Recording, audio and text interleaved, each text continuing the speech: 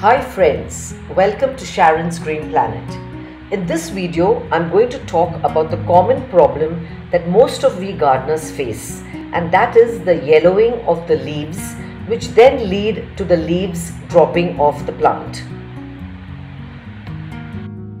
Of course, it is quite normal that the leaves at the bottom of the plant turn yellow and they drop off as the plant and the leaves get older. But if the leaves that turn yellow and drop from the top part of the plant or midway, then this is a concern and calls for attention. Overwatering or underwatering is the main reason that the plant leaves turn yellow.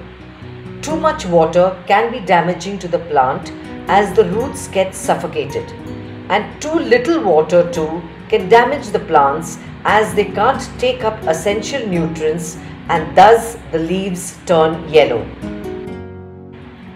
Now to determine whether you are overwatering or underwatering, you can check the soil by putting your finger into it and then checking if the soil inside is dry or moist. You can also check the yellow leaf and if the yellow leaf is dry and crispy it means that the plant is underwatered. And if the leaf is softish and limp, then you have overwatered your plant. This way you will determine whether your leaves are turning yellow because of overwatering or underwatering your plant. And accordingly, you must take the necessary action.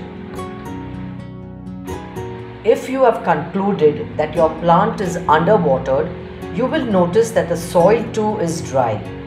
You must now ensure that your plant is regularly watered and must keep a check on the soil to see that it is always moist.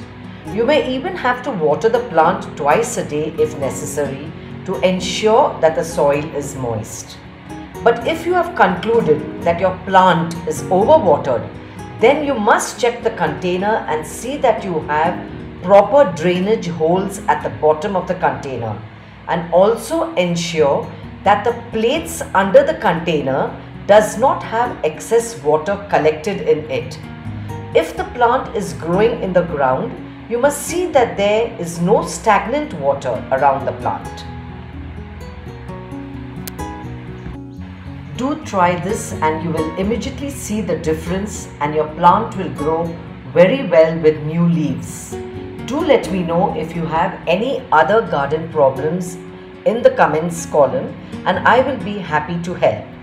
I will be posting many such videos on plant care and plant nutrients. Do subscribe to my YouTube channel Sharon's Green Planet and also click the bell icon so that you will be alerted when I upload these videos. Also like and share my Facebook page Sharon's Green Planet. Thank you for watching my video. Happy gardening!